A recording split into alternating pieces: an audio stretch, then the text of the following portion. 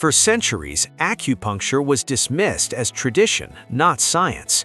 Many believed its effects were nothing more than placebo. But a discovery from Taiwan is changing that belief. Researchers at Taiwan Medical University found that stimulating specific acupuncture points can activate the body's own stem cells.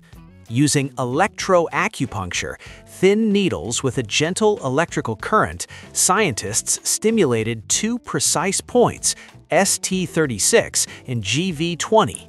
Within just 24 hours, stem cells in the bloodstream increased by nearly 300%. These stem cells were released directly from the bone marrow, and they didn't move randomly. They carried biological signals that guided them straight to injured organs, the heart, liver, kidneys, and even the brain. Once they arrived, the cells began repairing damaged tissue, either by transforming into local cells or by releasing powerful healing factors.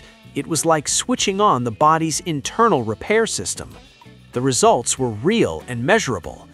Stroke patients treated with electroacupuncture within 48 hours recovered 40% better than those receiving standard care alone.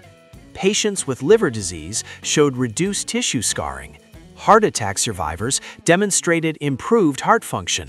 Researchers were able to trace these stem cells from the bone marrow directly to damaged organs, confirming the mechanism was biological, not placebo. After thousands of years, modern science is finally revealing how ancient acupuncture works, not through belief, but through the body's own regenerative power.